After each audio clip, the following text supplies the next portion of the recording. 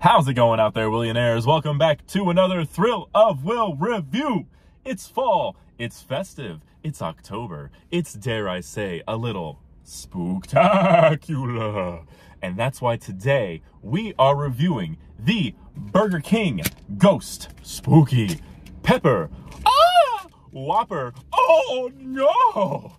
It's gonna be a fabulous, a spooky, a scary review, especially if Burger King is as doo-doo fire as they usually are. But let's dig right in. We got the regular Ghost Pepper Whopper combo just released yesterday. I'm so excited to dig in. I hope it's spicy. I really do. I want to give Burger King another chance and it better be spicy. Let's just put it that way. You can't call something ghost pepper and not spice it up. So let's get right in here. I got, as of course, as always, in this beautiful Burger King bag, onion rings. We'll do a crunch test, of course, per usual. And then we have my zesty sauce. Can't go wrong with a little zesty zest. And then here is the tour de force. The reason for the Halloween season. The entire, the wonderful, the fabulous Ghost Pepper Whopper. Now, I believe this has, let's see here. it sure does. Look at this monstrosity. Look at this jack-o'-lantern orange president colored sandwich. That is honestly one of the grossest looking things I have ever seen. What else did you expect though? This is Burger King. So it looks like we got an orange bun here. And look at, that's obnoxious. It looks like a Cheeto bun. We got an orange bun. And we got, looks like we got some spicy pickle chips. We got some bacon. We got some sort of super orangish, uh, spicy looking cheese. Maybe that's like nacho cheese or something. doesn't look like there's any sauce. Maybe there is at the top here. But once I lift this up and look at my bottom bun, I don't think I see any sauce under the under the patty here. But it looks like we got maybe a little spicy sauce with the pickles. Maybe that's the ghost pepper sauce there. Um, I just really hope this is spicy. I love spicy food. And most of these places, when you get something spicy, it really doesn't add much of a punch. So uh, I'm just to get right into it here. I'll do a first bite crunch test. I'll take a couple more bites, maybe a sip of my Coke, and uh, I'll kind of let you guys know kind of what I think here. I'm really excited about this, even though this is uh, terrifying. So uh, first bite crunch test going in, and uh, I'll let you guys know what I think. I'll see you on the other side.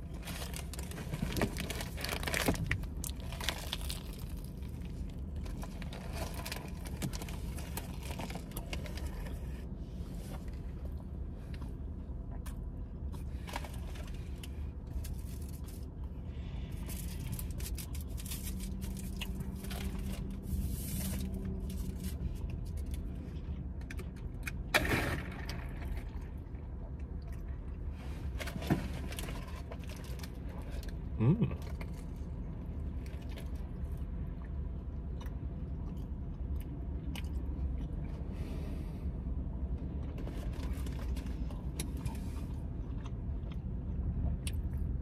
Ooh. Okay. Hold up, Burger King. Hold up.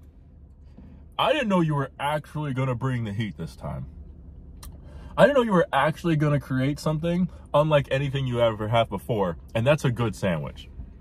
I didn't think you guys had it in you. I didn't think that you guys had it in you to make something that didn't taste like absolute dog doo-doo. Because that's usually what you guys do, is doo-doo. Burger King is usually just the worst. I didn't know you had it in you, Burger King. Turns out you can teach an old dog new tricks.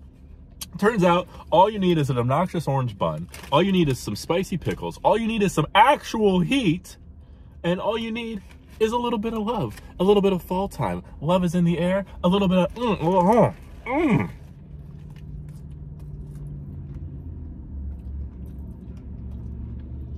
I'm a little angry.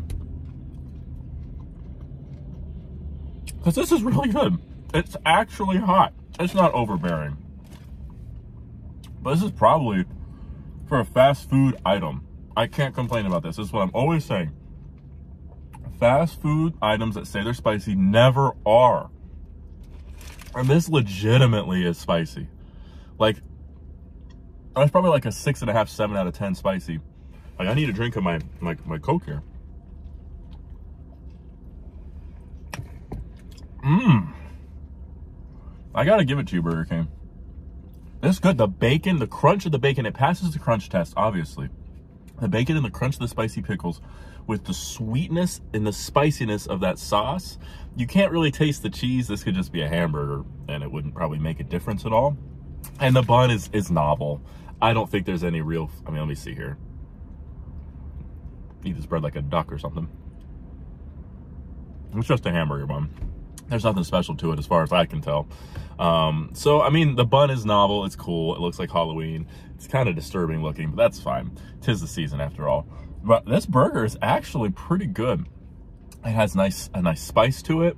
It's actually hot. I think it might be good if it maybe had like some onions on there.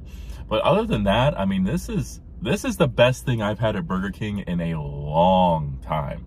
Um, they keep up doing things like this. I might actually go there more often than when it's just a last resort or when they come out with something new like this. Um, let's get the uh, let's get the zesty sauce open here. I'll give an onion ring test here, and I'll give you a full a full breakdown, a full score of this whole thing. Last time I got onion rings at Burger King, they were very disappointing. So let's see let's see what we got here. We'll come in close here for the crunch test.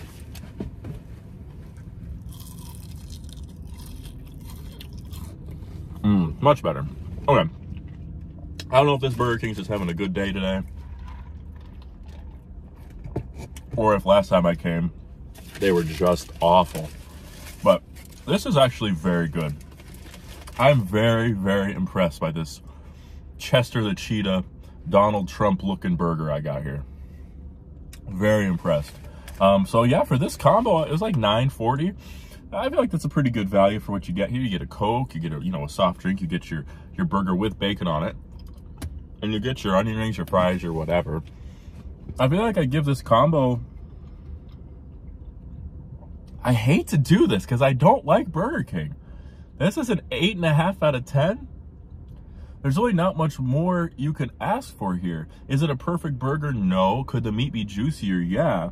But this is a fast food under $10 combo. That's fun. It's festive yeah, eight and a half out of 10 is what you get, Burger King.